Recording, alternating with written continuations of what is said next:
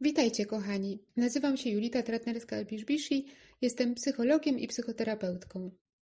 Dziś chciałam Was zaprosić na podcast o tym, jak pozbyć się przekonania o byciu niewystarczająco dobrym, a co za tym idzie, jak przestać porównywać się do innych. Zacznijmy od tego, że pewnie nie raz słyszycie, że jest to poczucie bycia niewystarczająco dobrym. I ja tu bym się na chwilkę zatrzymała. Jeśli jest to poczucie, to oznacza to, że nie jest to fakt. A jeśli nie jest to fakt, to niekoniecznie jest to prawda. Gdy mówimy mam poczucie, to mamy na myśli, że coś nam się wydaje, ale nie możemy być na 100% pewni, że tak właśnie jest. Kochani, tak dokładnie jest z naszym każdym przekonaniem. Nasze przekonania nie są faktem i bardzo często rozmijają się z faktycznym stanem rzeczy.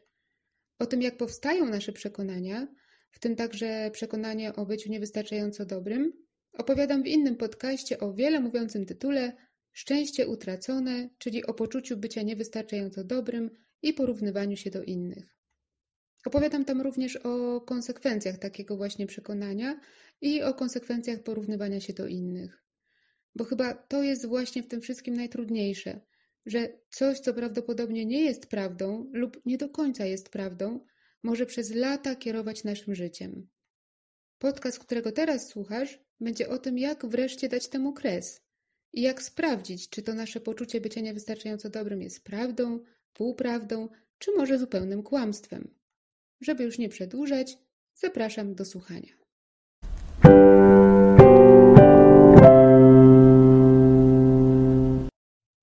Na początku chciałabym Cię zaprosić do zrobienia pewnego ćwiczenia, czyli sprawdzenia, czy Twoje przekonanie o byciu niewystarczająco dobrym jest prawdą.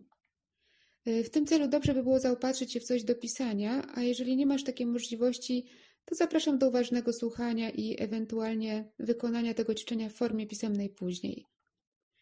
Najpierw chciałam Cię zapytać, jak bardzo wierzysz w to, że jesteś niewystarczająco dobry. Przyjmiemy tu skalę od 1 do 100%. Większość moich pacjentów mówi mi w tym momencie, że wierzą w to przekonanie w 80-90%, czyli praktycznie uważają, że jest to prawda. To bardzo ważne, bo oznacza to, że nad tym przekonaniem naprawdę warto popracować, e, gdyż prawdopodobnie ma ono bardzo duży wpływ na życie tej osoby.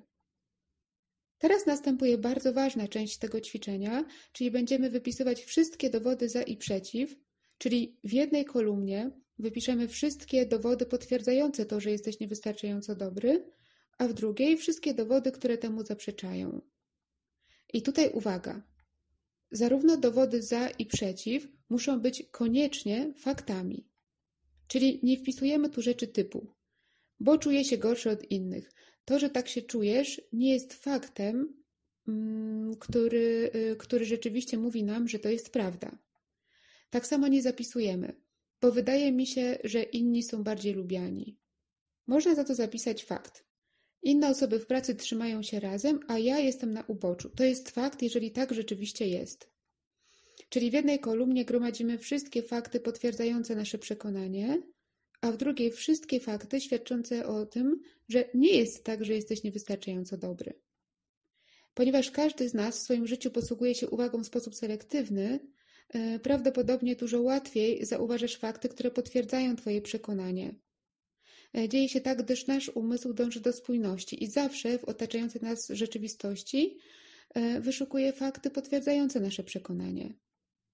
Dlatego do szukania faktów przeciwko przekonaniu jestem niewystarczająco dobry, warto poprosić o pomoc jakąś bliską nam osobę, którą uważamy za dojrzałą i przynajmniej w jakimś stopniu obiektywną. Tylko broń Boże, nie prosimy o pomoc kogoś, kto przez lata może takie przekonanie właśnie w nas budował, bo ta osoba z całą pewnością no, nie będzie y, obiektywna. Aby to, o czym mówię, było bardziej jasne, y, na kanale umieszczę taką przykładową tabelkę z pracą nad przekonaniem y, nie jestem dość dobry. Jeśli już wypiszecie wszystkie y, fakty za i przeciw, które przychodzą Wam do głowy, Przeczytajcie to wszystko, co napisaliście w następującej kolejności.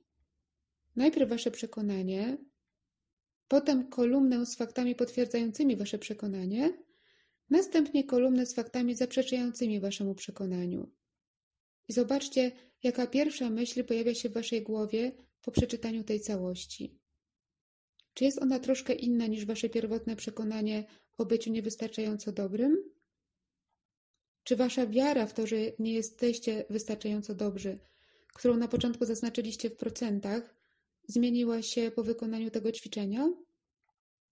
Z mojego doświadczenia wynika, że jeżeli naprawdę dobrze przyłożymy się do zrobienia tego ćwiczenia, to nasza wiara w jego prawdziwość zdecydowanie spada. Co jest najlepszym dowodem na to, że to przekonanie najczęściej nie jest prawdą. Zostało po prostu w nas zasiane przez kogoś najczęściej w naszej przeszłości i towarzyszy nam niestety do dnia dzisiejszego. Tym sposobem płynnie przechodzimy do kolejnej metody zmiany przekonania o byciu niewystarczająco dobrym, a mianowicie do zauważania i zwalczania naszego wewnętrznego krytyka. Wewnętrzny krytyk to nasze wewnętrzne myśli odnośnie nas samych, które też tak naprawdę nie są nasze, chociaż takimi się wydają. Nikt z nas nie rodzi się już z krytycznym stosunkiem do samego siebie.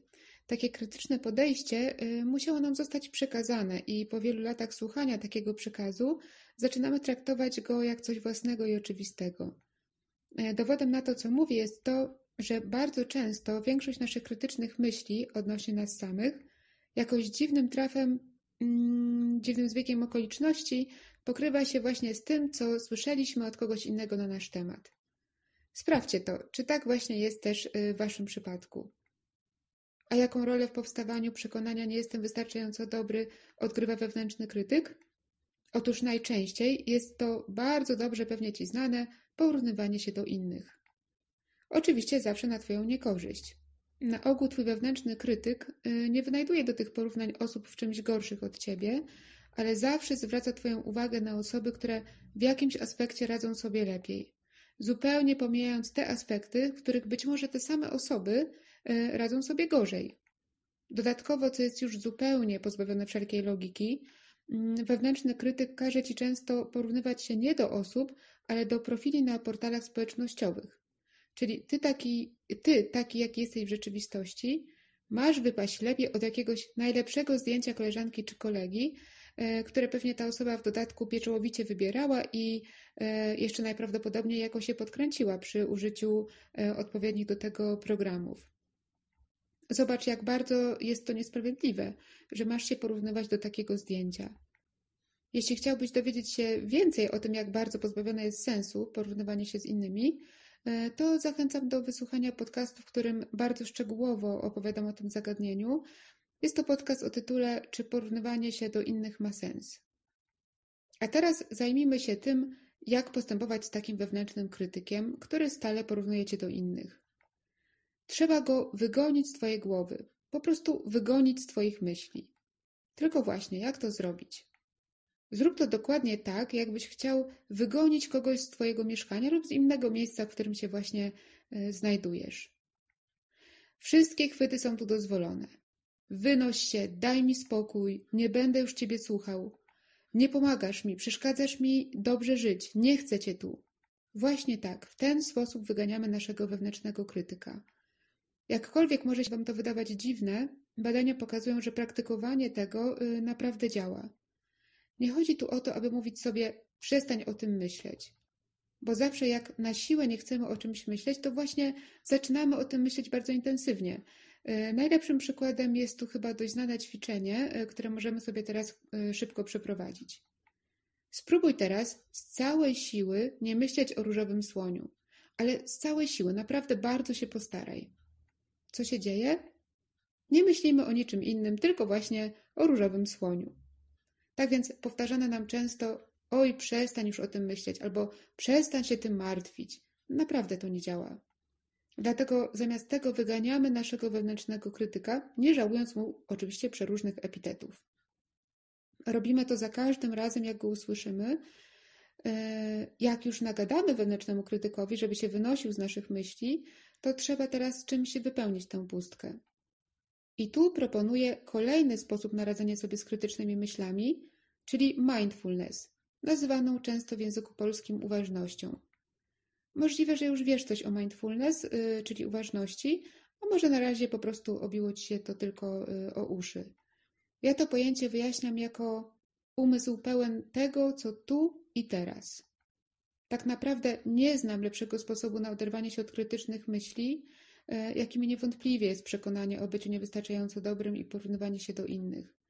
Mm, chodzi tu o to, aby za każdym razem, gdy takie myśli się pojawią, powiedzieć sobie stop i wypełnić swój umysł czymś, co jest dostępne tu i teraz.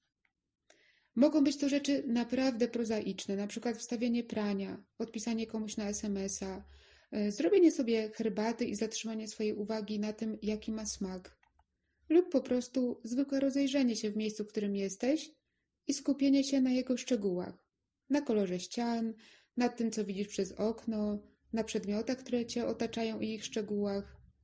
A może miałeś do kogoś zadzwonić albo sprawdzić coś w internecie. Pomyśl, co masz do zrobienia tu i teraz i tym właśnie wypełnij swój umysł. A krytyczne myśli powoli odpłyną. Jeśli za jakiś czas pojawią się znowu, kolejny raz odgoń y, Twojego wewnętrznego krytyka, powiedz tym myślom stop y, i znowu zajmij się tym, co dostępne jest tu i teraz. Tylko to, co tu i teraz jest tak naprawdę ważne. Przeszłością nie warto się zajmować, bo jej nie zmienimy a przyszłości nie znamy. To, na co naprawdę mamy wpływ, to jest ta chwila obecna. Posłuchajcie, na początku to, o czym tu powiedziałam, może być trudne do zastosowania. E, skoro przez tyle lat myślałeś o sobie e, krytycznie i w dodatku zanurzałeś się w tych myślach. Odrywanie się od tych myśli i zajmowanie tym, co tu i teraz, wymaga systematycznej pracy. Im częściej dasz radę to zrobić, tym szybciej zbudujesz nowy nawyk. Nie poddawaj się, jeżeli czasem ci się nie uda.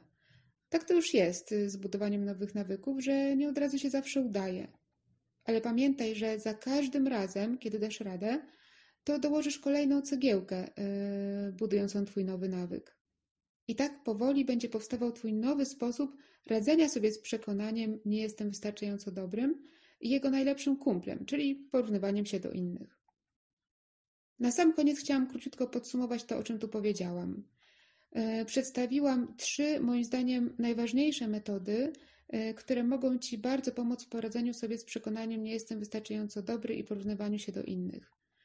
Pierwsza to sprawdzenie, czy to przekonanie w ogóle jest prawdą za pomocą dowodów za i przeciw.